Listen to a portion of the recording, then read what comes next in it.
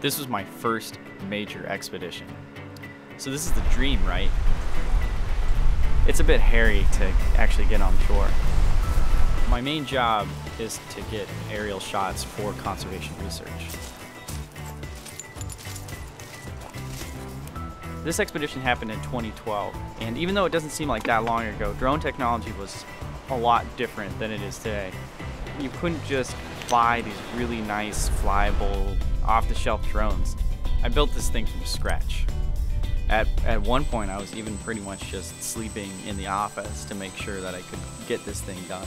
Uh, is there anything special that you want, Mike? It's very, very windy. The seabirds you can see, they're kind of just like hovering there in this immense amount of wind. So I decide, all right, I'm gonna kind of do this cool banking turn. Maybe there'll be some seabirds in the frame, all artistic and everything. But the drone is turning as I'm making this maneuver. So it's turning, but then the wind catches it.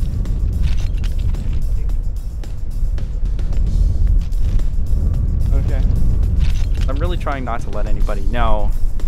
But I'm really freaking out inside. What is happening with this drone?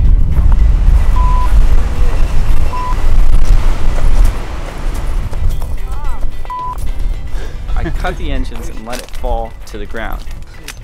It'll be fine, it'll be fine, I'm telling myself. And so I go through the tree line, and on the other side is this big rocky beach. Lasted how long? 30 seconds.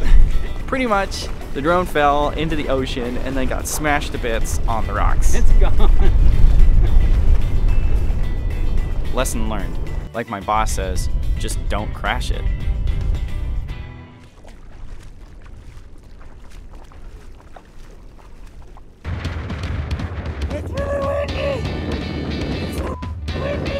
I am with Alex Honnold, and we are attempting to climb 45 of the most iconic towers in the desert.